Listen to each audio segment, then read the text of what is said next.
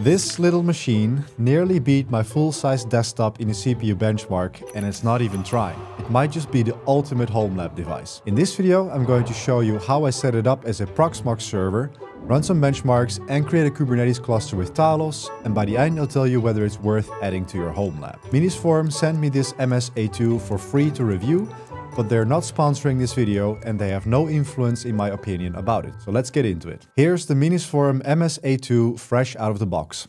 As you can see, it's compact, about the size of two paperback novels, but very space efficient compared to what it packs inside. Under the hood, it's powered by an AMD Ryzen 9 9955HX, which is a mobile class chip sporting 16 cores and 32 threads, and it boosts up to 5.4 GHz. There's also a Zen 4 option with the Ryzen 7 7945HX, but mine has the newer Zen 5 chip for even more efficiency. For memory, it supports up to 96GB of DDR5 RAM, and the storage options include three PCIe 4.0 M2 slots, great for building a fast, high-capacity home lab system. Minisforum sent me a standard version with only 32GB of RAM, but I plan to upgrade it to 96GB later. The MS-A2 includes a half-height physical PCIe times 16 slot, electrically PCIe 4.0 times 8, that can be split into 2 times 4 lanes, which means that you can add extra NICs, NVMe expansion, or even a low-profile GPU down the road. In terms of networking, this unit includes dual 10 Gbps SFP Plus ports and dual 2.5 Gbps RJ45 Ethernet ports. That's very rare in this size, and it's super useful for virtualization, Ceph storage, or workloads that need some serious throughput. On the outside, you'll find basic I.O., USB-A, USB-C, a headphone jack, power button, all simple and practical. In short, a small form factor powerhouse with an AMD CPU, lots of RAM and storage potential, and enterprise grade networking. Not bad for a bare bones starting point for your home lab. As you may know, I am a big fan of bare metal Kubernetes home labs, so I actually don't have any virtualization servers in my current home lab setup. I only run Kubernetes clusters, no VMs, and they all run on thin clients that I clustered up through Talos. So this device looks like a perfect candidate for a Proxmox server, so I can also start running VMs as well. And that's what we're going to be doing in this video. I was really glad when Minisforum reached out to me, because I had actually been looking into this form factor for a while. I've been looking to upgrade my home lab and considered buying a rack and getting a rack mounted server. For example, the 45 Drives HomeLab HL15 was something I considered. Hey 45 Drives, if you're watching this, you should definitely send me one. However, I didn't go down that route because I live in a small one-floor apartment and I'm very sensitive to noise. I was almost about to buy a rack and one of these 45 HomeLab servers when I came across a review that showed me the noise level of these types of servers. It sounded like an airplane, and since my apartment also tends to get really hot in the summer, I knew this was not going to be an option. Having a constant hum in the background will simply drive me insane, and that is not worth it. So that's when I started investigating this mini PC form factor. I heard that these have much lower noise levels, so let's find out if that's true. The first step is to get this baby up and running. But before I get into installing Proxmox, only 21% of you are subscribed. You can support my work completely for free. Just click the subscribe button, be a legend and do it now because I have to buy food. Thank you. Now let's get into installing Proxmox. I installed a bootable USB using DD, which I did on Arch Linux by the way, and the Minisforum came with Windows 11 pre-installed as the default boot option so I had to change the boot order in the BIOS. I also had to disable Secure Boot, and then my Proxmox installer booted right up. After installing and configuring Proxmox with a static IP address in the correct VLAN of my home network, I could log into the Proxmox web interface. Before doing anything else, I wanted to run a quick benchmark on the Minisforum to see what it's capable of. So I've just opened the Proxmox interface in my browser here and it all worked perfectly. And now I'm going to be using Geekbench to do a benchmark. So in order to do that, first we're going to open up a shell to the, to the machine here. And it's actually super easy, but I have the commands over here. So I'm going to be using wget to download the Geekbench archive. So let's just make the Geekbench and wget that. So that will take a few seconds to download. And when that's done, we're going to unzip it. And then we are going to run the Geekbench 6 benchmark. So we have downloaded it. Now I can just unzip it.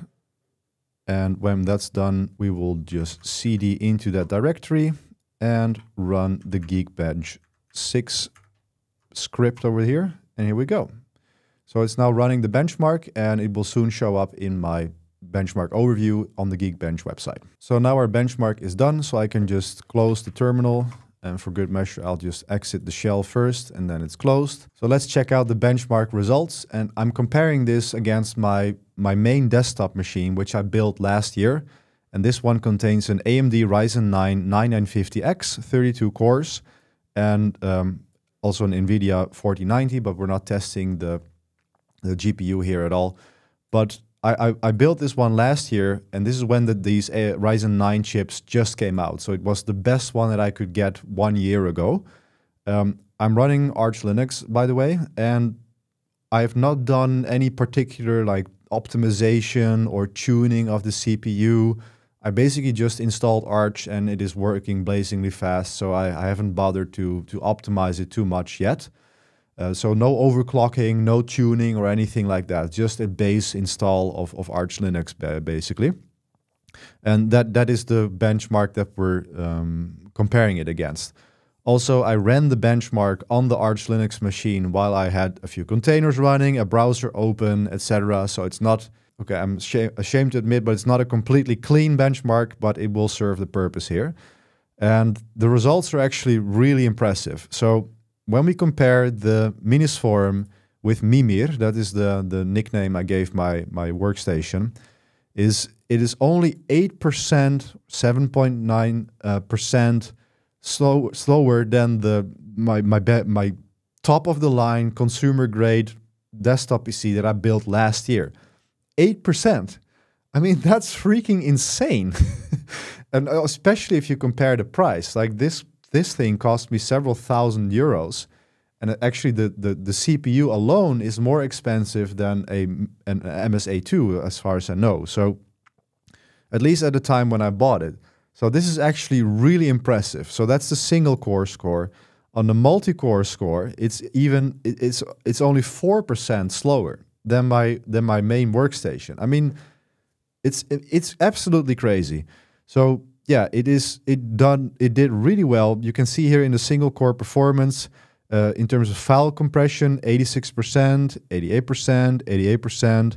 So it is all up in the 80%. Asset compression is 97%. So it is all up there. There are like no real lows here that I can, I can spot. And even the multi-core performance in terms of file compression was even more efficient, surprisingly. So yes, it's definitely has it packs a lot of power, and it also has 32 cores, right? It has, it has 62 62 cores, but 32 threads. So I think this is a really really good uh, machine for virtualization in a home lab setting, especially if you consider the the form factor. And yes, it's not a server grade uh, CPU like a Xeon or something like that, but it will serve its purpose for sure. So now that we have the benchmarking out of the way, let's actually do something with our Proxmox server. And what I'm going to be doing is, of course, create a Kubernetes cluster using Talos Linux. So I've been using Talos for almost two years now, and I absolutely love it. And I've done it the, the normal way with generating the config files, if you're familiar with that. But last winter, I switched to Sidero Omni, which is like the SaaS version of, of Talos Linux. And they have a home lab license which i highly recommend you check out. It's like 10 bucks a month or something but it makes this stuff super easy. So what i'm going to be doing is I, i'm going to generate an installation media. So what you do is you just pick your talos version and you can add a label to it. So for example proxmox and then you can add uh, initial kernel uh, uh, arguments and for example extensions so if I want to have my Synology iSCSI uh, setup working properly, I need to install iSCSI tools, for example. So you generate your, your installation media and you press download. And this is then going to generate a specific custom ISO for you that is uh, already configured to connect to your Omni instance. So now my ISO is downloaded and I just go into Proxmox and I go to my storage and then I hit upload and then I uploaded the ISO that I generated. And that is all I need to do. So now we're ready to just create a new virtual machine and I'm just going to name this Talos Proxmox 01. Uh, let's just call it Talos 01. And for the OS, I am then going to pick out the ISO that I generated and uploaded. And next we will give it um, some resources, of course. So let's see, uh, disks is fine. So let's give it four cores and let's give it 8192, eight gigabytes of RAM. Network is just default and confirm. So this is now going to create, start creating that virtual machine. And when it's created, I am going to start it, start.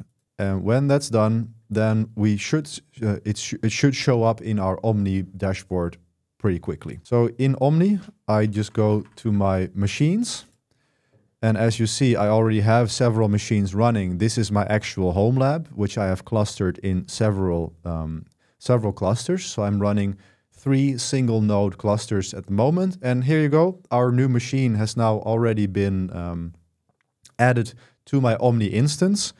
And what I can do now is I can uh, click this machine and now I see the, I can see what's going on. I can check out the logs and then I can apply patches to it and I can create a new cluster because this is basically a pool of machines that exists in my in my in my home lab in my in my um, data center, you could say. And I can just pick and choose these machines and combine them. I can delete them and uh, recombine them into new clusters. So let's just create a new cluster. Create a cluster. And I'm going to um, call this one Talos Proxmox. And let me see, let's not do encryption. Let's just keep it simple for now. And I'm just going to pick this machine and this is going to be the control plane. So all I had to do was just to pick out the control plane here and now I'll just create cluster. Uh, it will be a single node cluster for now and then I can add another node. So now this is configuring and let's just create a new VM so that we can add a multi-node cluster as well. So let's see, let's call this one Talos 02. Next, we're going to give this the same ISO that's the beauty of it. So you just upload the same ISO, use the same ISOs, and then it gets added to your machine pool in Omni. 8192. And let's just everything default. So now our cluster is uh, currently installing. So let's check out if we can see some logs here. Here is the machine, console logs. Here we go. We can see it's actually installing now. And this is so beautiful because you can install a, you create an image. It already has the latest version and then it pulls in the latest, um, everything that it needs, all of the drivers, etc. And uh, after basically a few minutes, then the whole the cluster should be up and running. So as we see now, the cluster is already completely ready. My control plane is running and I can I can just check out the monitoring. I can see what's going on. I can check out the, the console logs, everything. And, and this is why I love Omni so much. It's making home, my home labbing life so much easier. And it's definitely worth the money for me. And then what I can do now is I created the new VM here in Proxmox. So I have two VMs now, Talos 1 and Talos 2. And when we check out the machines, we see that uh, a new machine has actually been added already. So what I can do now is I can go to my cluster and then I go to my Talos Proxmox cluster. And this this is what I love so much about about this whole setup. So instead of having to generate all of the manifests and to go through the IP addresses, etc., it's actually quite a lot of work if you do it a lot, like I like I do because I experiment a lot. But here in this Talos Proxmox cluster, all I need to do is just click cluster scaling and then I'll, I see I have one available machine, which is this new VM that I just created. And all I do is I just click W0 because I want to add a worker node, update, and boom, this machine is now going is now added to my cluster and it's now automatically configuring it as a worker node. I mean, oh, this is just so cool. and I absolutely love this complete setup. So this is what I'm going to be using my Proxmox server for mainly uh, to be I can very easily create like testing clusters or create separate environments that I'm that I like to do for my work and for my experimentation.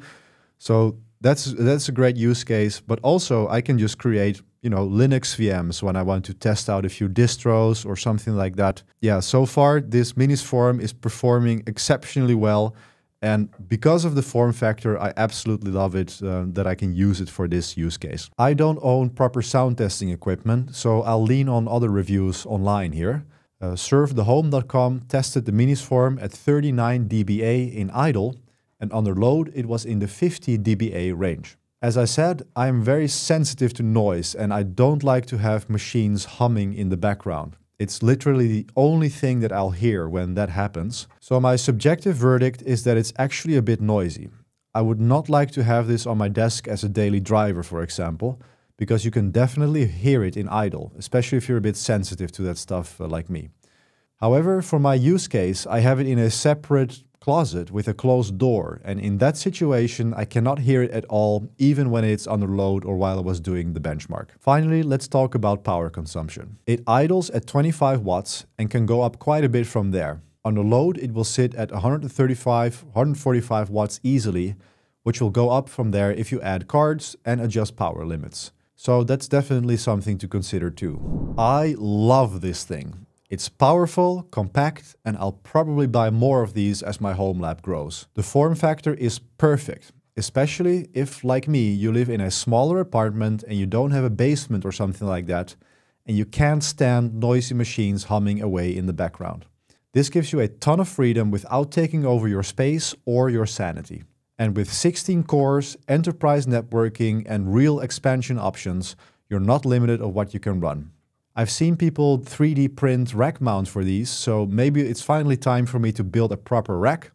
Just not with the big servers that sound like jet engines, but just with a few more of these instead. In short, I highly recommend this device and I'm definitely gonna get more of these. Make sure you subscribe to not miss out on any content and if you want to see my Kubernetes home lab, check out this video. See you in the next one.